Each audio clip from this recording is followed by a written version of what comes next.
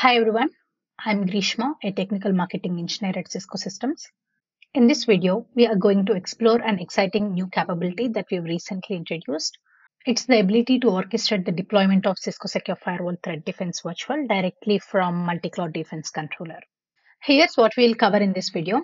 A quick overview of the feature and followed by a detailed walkthrough and then architecture diagrams showing how deployments looks like in AWS and Azure, and finally a demo so you can see it in action. Before diving into the feature, let's talk about the reality of deploying virtual firewall auto-scaling in cloud today. While cloud technology is powerful, deployment is often anything but simple, right? So there are so many challenges that organizations are facing when trying to implement these solutions in cloud. Uh, one of them is the complex manual process. Even in 2025, deploying a virtual firewalls isn't a one-click process. There's a lot of intricate configurations that needs to happen behind the scenes, which leads us to the DIY, do-it-yourself uh, cloud architecture challenges.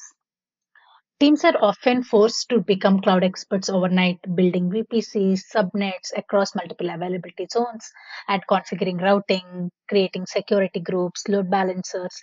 It's like being handed the car parts and told to build a Ferrari. Technically possible, but requires expertise, right? And the result of it is the deployment friction. What should take hours sometimes drags on for weeks due to minor misconfigurations. And when it's all done manually, errors are inevitable. And as you all know, single misconfigured route table or a security group can break our entire security posture. So we need multi-cloud expertise. Uh, it's not just about the firewalls anymore. Teams are expected to master uh, different cloud providers like AWS, Azure, GCP, and Oracle. Each has their own uh, APIs, own services, their own terminology, and their best practices. And organizations often find themselves needing to either hire specialists or spend months training their existing teams. While auto-scaling virtual firewalls promises different benefits like, um, for example, agility or the cost optimization, but these deployment challenges can become a real roadblocks. Cisco recognized these pain points and addressed them head on with Cisco Multi-Cloud Defense. I think I already mentioned Cisco Multi-Cloud Defense a couple of times in the video. But if you are unfamiliar with Cisco Multi-Cloud Defense, it's a cloud delivered security platform that lets you protect workloads and the resources across different uh, public cloud providers like AWS, Azure, Google Cloud, and the Oracle Cloud from a single controller. I will leave a link to the Multi-Cloud Defense official page and the dedicated YouTube channel that we have in the description box. Uh, check them out if you would like to know more about Multi-Cloud Defense.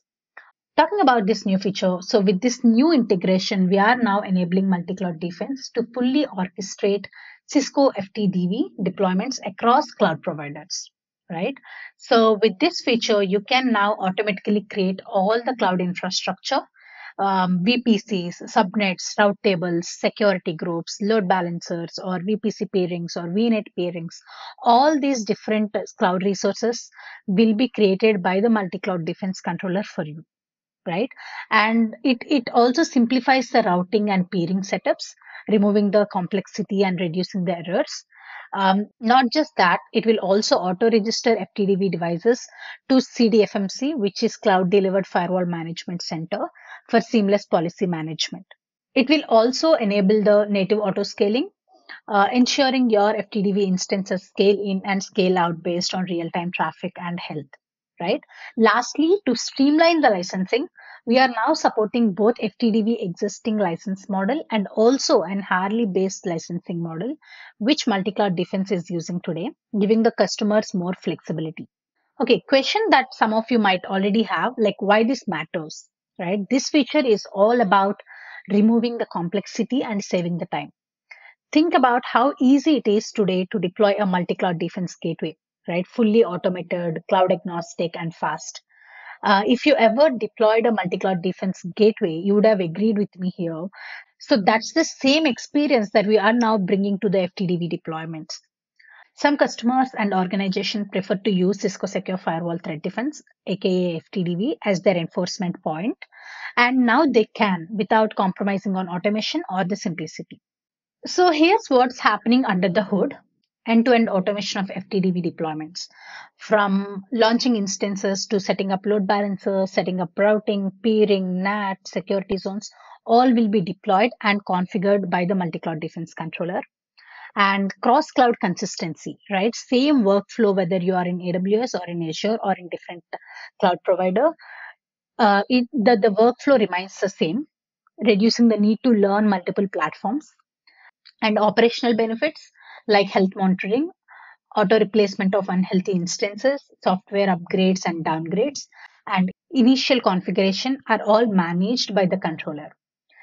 We also provide the seamless CDFMC integration. Multi-cloud defense controller will also do the interface configurations, will create the device groups, access control policies, routing, objects, everything is automatically created. And if you would like to use the existing access control policy, you can use the existing access control policy or create the new ones.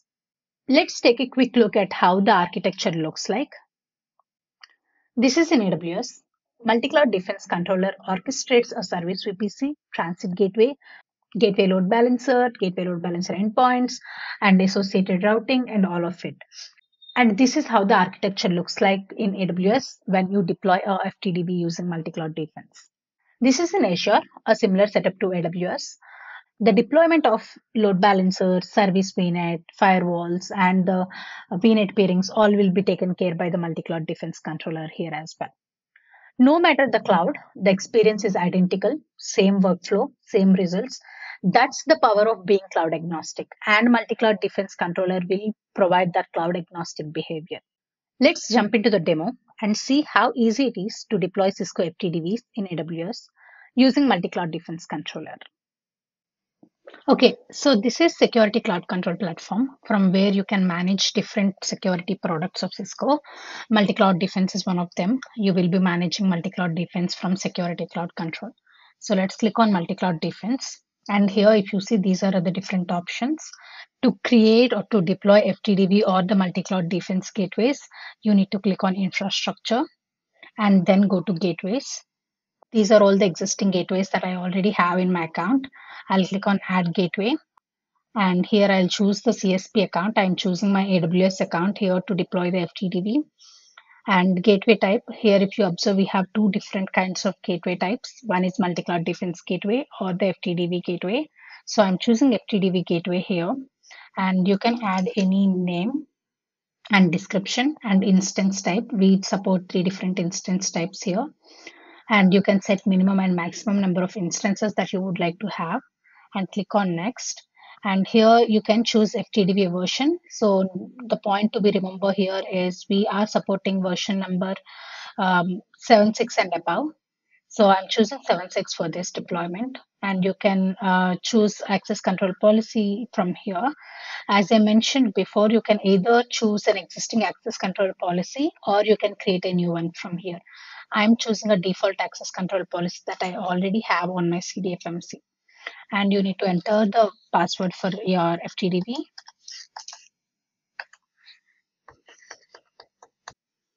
And here, if you choose, we are supporting two different models. One is um, smart licensing, which is existing FTDV licensing model, and a hourly based licensing model that multi-cloud defense is currently using. Here, I'm going with a smart licensing model. Uh, you can choose performance tier from here, and the different you can add different license types. You need to choose the region in which you wanted to deploy your FTDV. I'm choosing US East one and choose your VPC. Here I'm choosing this VPC that I wanted to deploy the FTDV in and also key pair so that it will attach this key pair to your FTDV instances and gateway IAM role.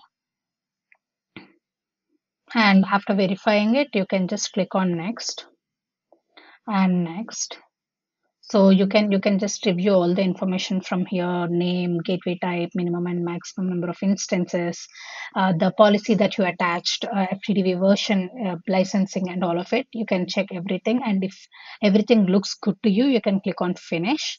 Once you clicked on finish it will start deploying ftdv in the aws account in the vpc that you mentioned.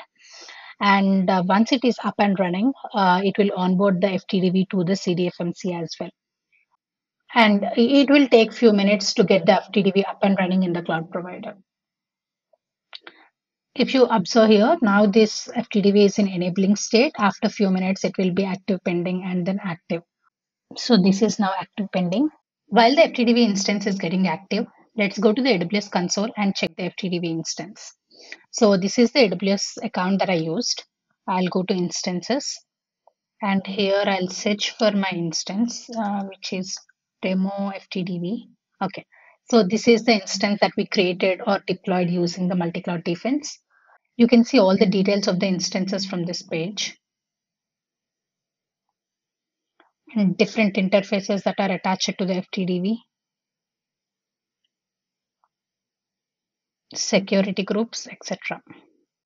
Let's wait for FTDV to be up and running.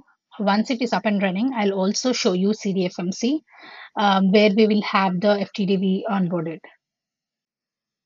Okay, after a few minutes, our FTDV is in active state. It's in 7.6 version. You can click on this FTDV to see all the details from this page.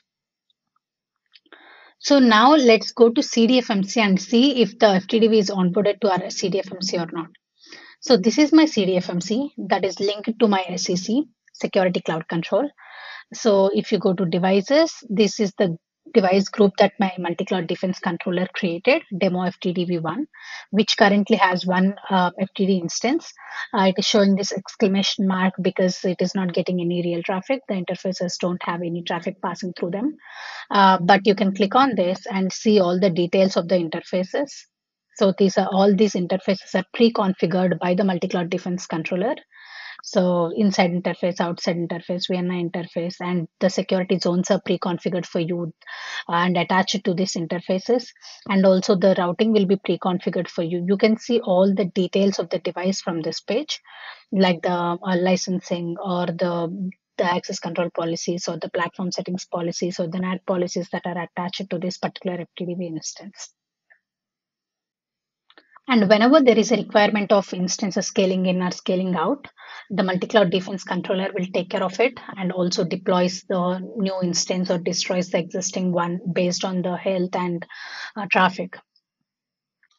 Yeah, that concludes our demonstration of deploying Cisco FTDV from multi-cloud defense controller.